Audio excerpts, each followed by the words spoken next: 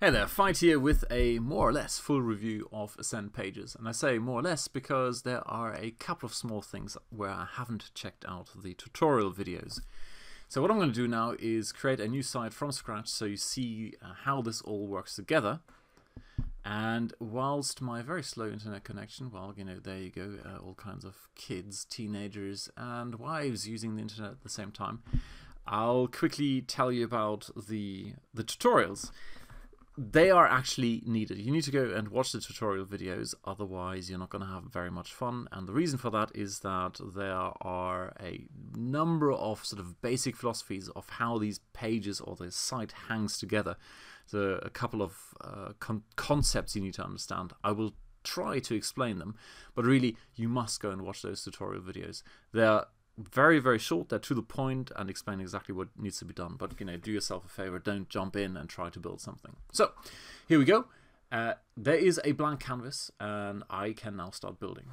So let's start looking at the first philosophy of this whole thing. The idea is that you have building blocks and where you find them is up here. So you've got templates which is basically whole pages and then they consist of blocks. These individual blocks are um, maybe we'll just look at one. For example, a header. Okay, so a header block, rather than be uh, than being just the headline or just the menu, has already everything in it. So here we go. You know, that's a header that has a background, it has a headline, it has a video.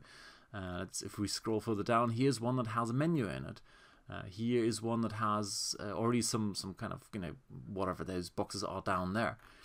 So what we're going to do, uh, actually I'm just going to grab one of these here. Let's say this one here. So it has a header, again it's a menu in there, there's some text in here. Okay, thank you very much. So the idea is that your pages consist of blocks. And those blocks then actually, if we go out here, those blocks have individual in them components. So you can then add uh, components where the grid one is a very special component. The grid is basically just a layout uh, element, if you like. So the the big promise on their sales page is that, hey, look, you know, it's as easy as swiping, you know, dragging and dropping stuff in there. And that is actually true. These blocks are beautiful and they make life, uh, life so much easier. So if you just want to go and you know grab anyone, which one's the one I said? Okay, you know, let's use this one here. You just pull it over here. It goes wiggle, wiggle, wiggle, and there you go. Now you you know you can easily check out your logo. You have a you know the whole menu thing up here uh, button there, you've got some text here, and now I can easily start adding stuff to it. I will also in a second demonstrate the bit where I haven't watched the video yet, where I get a little bit confused. Whilst we're here, let me highlight something really, really cool, and that is when you look at this here, you know, we've now created a menu, and if I go on here and say, look, I want to have a link to different pages for this particular button here, I click unlink, and you can now choose a page. At the moment, I only have one page in the site, so there you therefore you can't link to anything. But this is absolute gold. I mean, you know, I don't know of any other page builder that does it in such a good way here. I my, my personal geek style uh, or geek friendly uh, page builder for single landing pages is Convertri. Uh, absolutely love it. You have lots of flexibility. It just fits my personal style of doing things.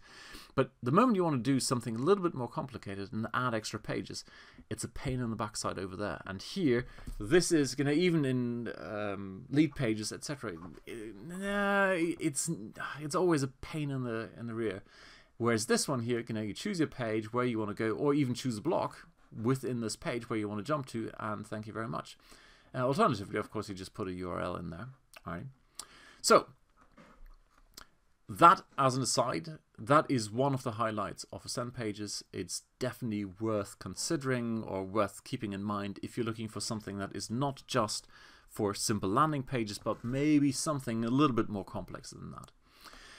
Here, let me now use this also as a as a way of illustrating the one bit I don't uh, or haven't quite figured out yet, and that is if I now go on here and I delete this particular header. Uh, hang on, click. No, no, no. Here we leave me alone. There you go. So I now remove the entire header.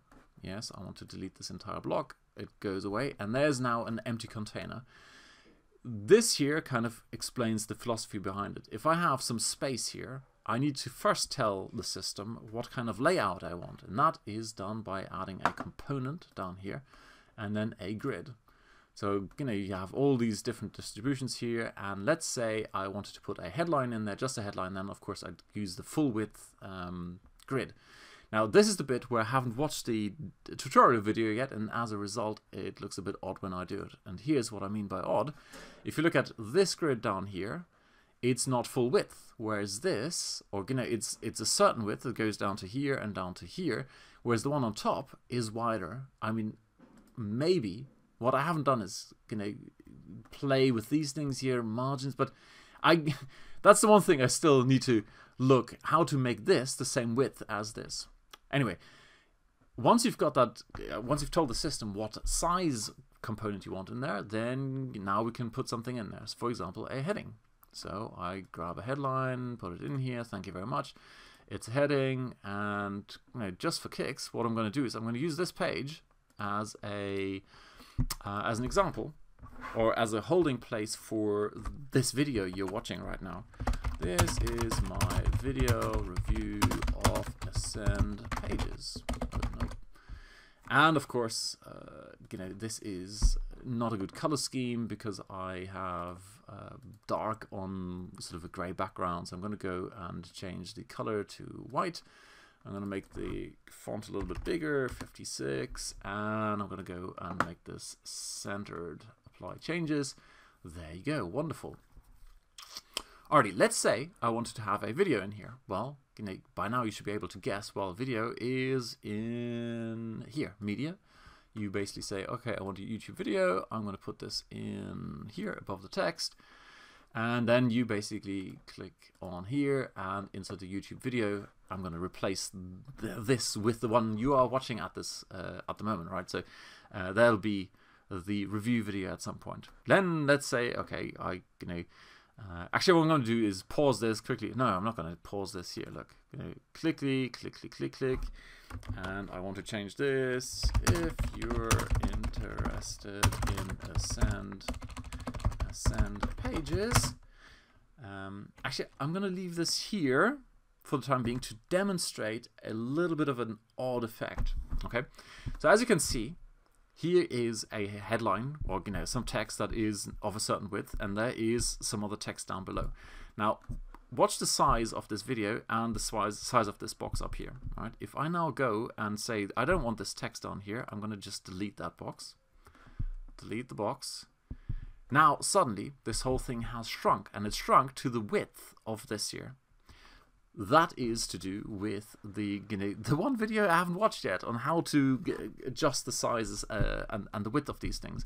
So if I were to go in here and just type in enough text to make this big enough, yeah, uh, or, click on the uh, button below. So now it's gone back to this full size.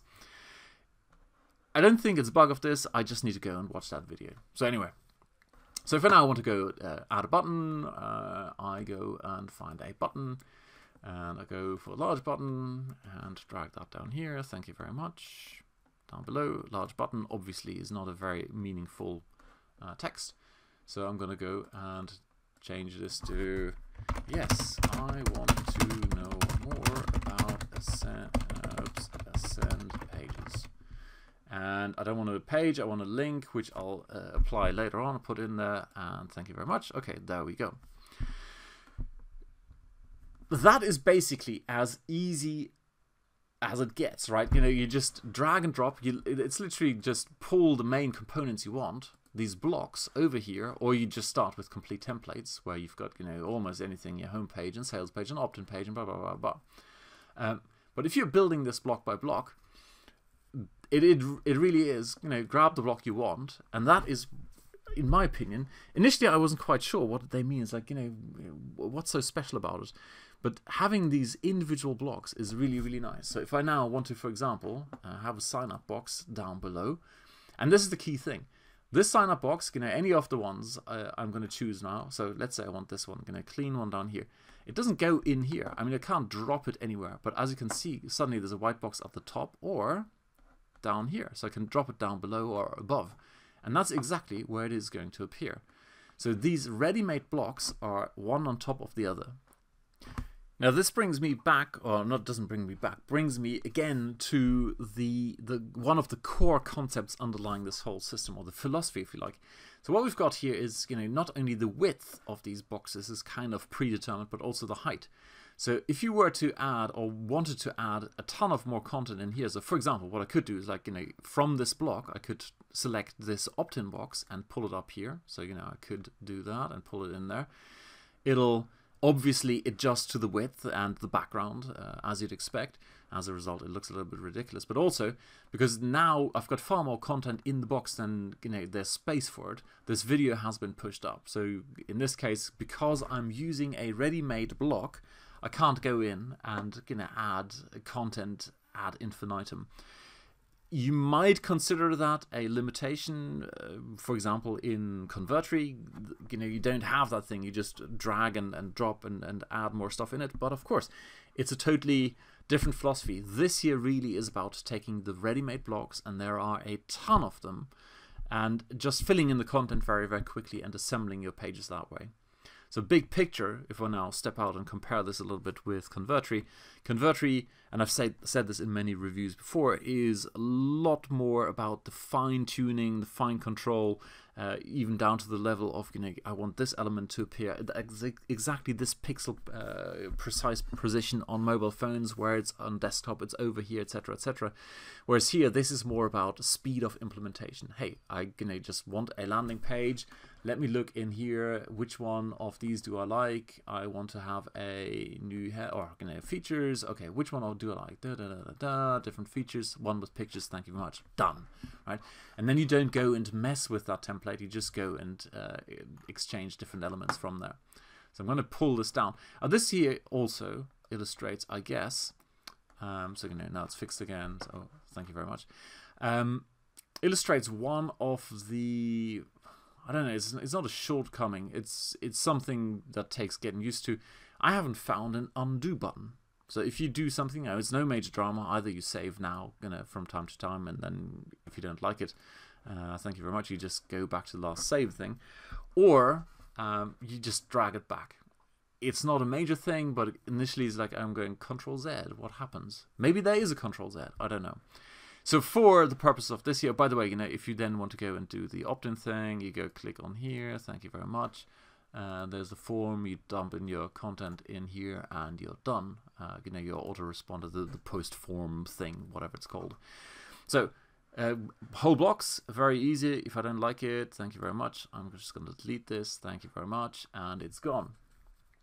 So what I'm going to do now is basically render this video and stick it together for you to, you know, to watch on a page that looks a little bit like this, so you can see this whole thing in action.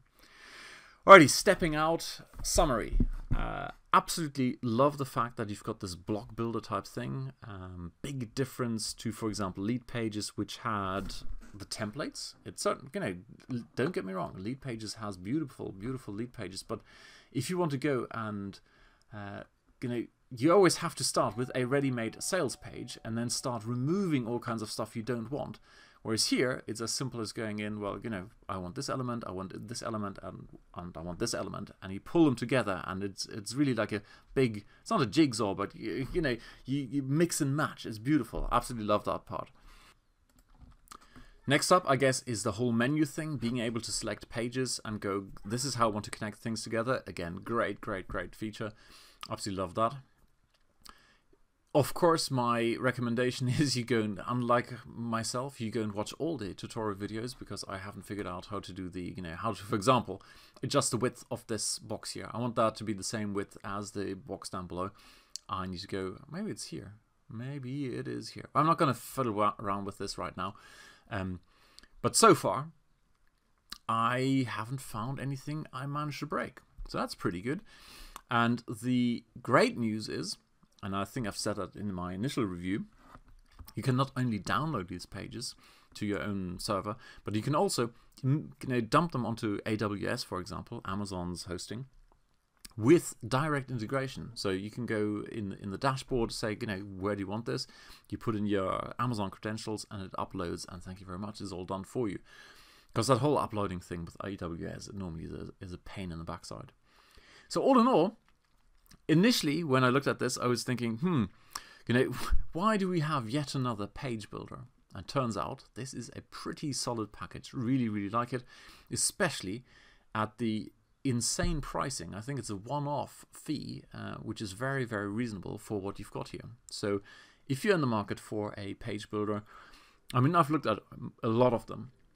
And although it doesn't have quite the flexibility of, for example, Convertri, which is my you know, my personal favorite because it fits my personal style and I guess my OCD when it comes to you know having ultimate control.